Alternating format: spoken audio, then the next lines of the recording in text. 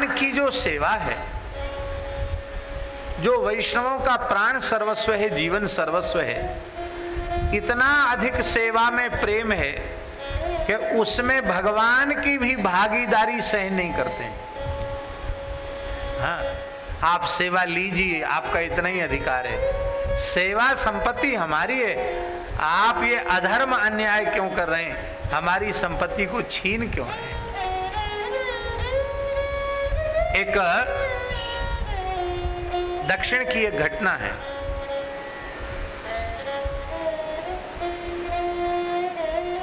दक्षिण में श्री अनंताचारी नाम के एक महापुरुष थे।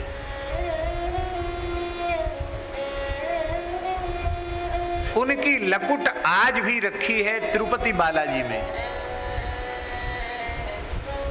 जब भीतर प्रवेश करते दर्शन के लिए तो मुख्य द्वार पर आज भी लकुट रखी है। जिस लकुट से उन्होंने ठाकुर जी को धमकाया था, बालाजी को धमकाया था,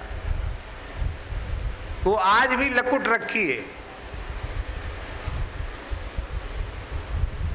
श्री बालाजी वहाँ विराजमान, उस काल की बात है जब बहुत लोगों का आवागमन नहीं था।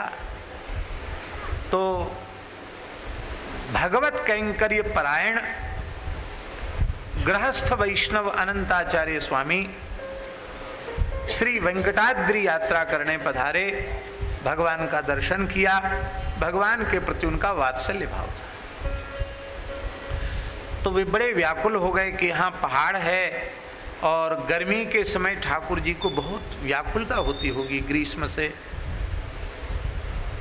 कैसे ठाकुर जी को शीतलता मिले? तो उनके मन में विचार आया कि अभी तो गर्मी का समय है, यदि एक सरोवर भगवान के लिए बन जाए, पुष्करणी बन जाए तो वर्षा काल आने पर उसमें पर्याप्त जल हो जाएगा, पहाड़ का शुद्ध जल हो जाएगा, और उस जल से भगवान को जब इच्छा होगी तब जल विहार भी करेंगे, नौका विहार भी करेंगे, और नहीं तो कुछ नहीं तो भगवान के मंदिर के परिसर में ही पुष्करणी होगी तो उसकी शीतलता तो भगवान को प्राप्त होगी। इस भाव से उन्होंने अपनी गृहिणी को आज्ञा दी, जो कि आसन्न प्रसवा थी। माने गर्भिणी थी और प्रसव काल निकट था। उन्होंने कहा, देवी, देखो, भगवान के लिए पुष्करणी का निर्माण करना है, सरोवर का निर्माण करना है, तुम हमारा सहयोग करो। ठीक है। तो मैं कुदाल चलाता हूँ, मिट्टी खोदता हूँ और तुम उसको फेंक के दूर आओ। ठीक है। तो वो जैसे खोद करके डलिया मिट्टी से भरते, और उनकी गृहिणी गर्भिणी थी, आसन प्रसवा थी, भार कैसे उठे, लेकिन पति आ गया तो सिर पे रख करके लेके जाती थी। और वो जब तक खोद नहीं पाते, तब तक वो परात को, डलिया को रिक्त करके चली जाती। तो उन्होंने कहा कि, देवी, ये पहाड़ की मिट्टी बड़ी कठोर है, पत्थर है यहाँ। मैं बहुत श्रम पूर्वक इसको खोद रहा हूँ, मैं खोद नहीं पाता हूँ। और तुम उसके पहले परात रिक्त करके, खाली करके चली आती हो तो कहाँ फेंक के आती हो? हमने जो स्थान निश्चित किया, वहाँ डाल के नहीं आ रही हो क्या? नहीं नहीं, वहाँ से भी आगे मैं पहुँचाती हूँ, पर मैं नहीं पहुँचाती हूँ। कौन? बोले, मैं दो पग चलती हूँ, तब तक एक चार भुजा वाला सांवला बालक आता है और मेरे मस्तक से डलिया उठा के भाग जाता है, दौड़ के जाता है, मिट्टी खाली करके, खाली डलिया, हमको दे जा। मुझे चलने का श्रम नहीं करना पड़ता, मुझे भार उठाने का श्रम भी नहीं करना पड़ता। अब सूर्यास्त होने वाला था, दिन भर थक गए थे। उन्होंने कहा यहाँ तो हमारे, तुम्हारे अतिरिक्त कोई मनुष्य दिखाई ही नहीं पड़ रहा है, यहाँ कौन आ जाता है? देखें, उन्होंने देखा ठाकुर जी। बालाजी है। तो लकुट उठाया अपना। ले खबरदार, ये संपत्ति हमारी है, इस पर डकैती मत डालो। हाँ मंदिर में बैठकर सेवा लो। आपकी पुष्करणी के लिए हमको जितने जन्म लेने पड़े, पर हम खुद के तैयार करेंगे। आप हमारी संपत्ति को क्यों छीन रहे हो? ठाकुर जी बोले, हमसे सहन नहीं होता है। बोले, अब होगा सहन। ठाकुर जी भागे डर के मारे मंदिर में। और वहाँ के राजा को भगवान ने स्वप्नादेश किया कि मेरे बहुत प्रिय भक्त हैं अनंताचार्य स्वामी। आप पुष्करणी तैयार करो तो एक ही सूर्योदय सूर्यास्त में वो पुष्करणी तैयार हुई। हज़ारों वैष्णव लग गए, राजा स्वयं लग गया। और एक ही सूर्योदय से सूर्यास्त में भगवान की पुष्करणी तैयार हो आज भी पुष्करणी।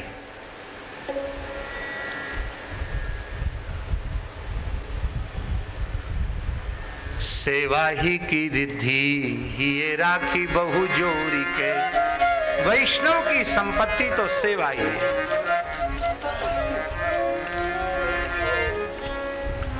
शबरी जी के चरित्र में भक्तमाल के टीकाकार प्रियादासी ने लिखा है, निशि कौन चोर आयो है?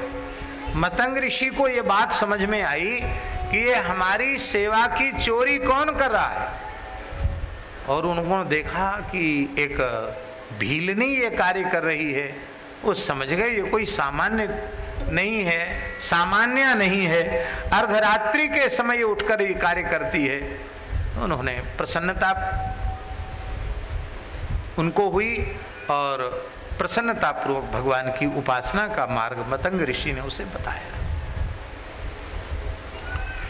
अम्बरीश महाराज की छोटी रानी, वो उनकी सेवा की चोरी करती। कत देवी, तुम हमारी सेवा की चोरी क्यों करती हो? तुम्हारा इतना भाव है, तुम अपने माथे सेवा विराजमान क्यों नहीं कर लेती हो? तो आज्ञा हो गई, पति ही गुरु है, आज्ञा हो गई तो छोटी रानी ने मदन मोहन जी को अपने कुंज में विराजमान कर लिया। वैष्णव की संपत्ति भगवान की सेवा है। ये बात बिल्कुल सत्य है, भगवान की सेवा संपत्ति है। पर भैया, सेवा की पात्रता भी इस देह में होनी चाहिए। इसलिए शौचाचार आवश्यक शुद्धि और विधिवत स्नान करना, जल और मृतिका आदि का उपयोग करना, और फिर भगवान की अपरस में सेवा करना, भगवान की अपरस में रसोई बनाना, और शरीर भगवान के स्पर्श के योग्य हो जाए, इसलिए मस्तक पर उदपुण्य धारण करना, तुलसी धारण करना, भगवान नाम अथवा भगवत मुद्रा धारण करना, अंगन्यास कन्यास करना, गुरु मंत्र का जप करना स्तोत्र, पाठ आदि करना, इससे भगवत सेवा की योग्यता प्राप्त हो तो उसके जो नित्य नैमित्तिक कर्म हैं, वो देह की आवश्यक शास्त्रीय शुद्धि हो जाए, और वो शुद्धि किस लिए आवश्यक है? वो शुद्धि भगवत सेवा के लिए आवश्यक है। तो उसका प्रयोजन जो है, भगवान की सेवा हो गया। भगवान की सेवा उसका प्रयोजन हो गया, इसलिए वह सेवा की सेवा की सामग्री बन गया। वो भगवत सेवा की सामग्री बन गया। इसीलिए वैष्णव धर्म इतना सूक्ष्म है, इतना सूक्ष्म है, इतना सूक्ष्म है कि इसकी सूक्ष्मता भीतर से यदि समझ में आ जाए तो क्या कहें हम? मलमूत्र त्याग की क्रिया, शयन की क्रिया, भोजन की क्रिया भी भगवान की उपासना की सामग्री बन जाती है। भगवान की उपासना की इस परिधि में आ जाती किस लिए सो रहे हो? सुबह जल्दी श्रीनाथ जी की मंगला करनी है। भगवान के निमित्त सोना है और भगवान के निमित्त जगना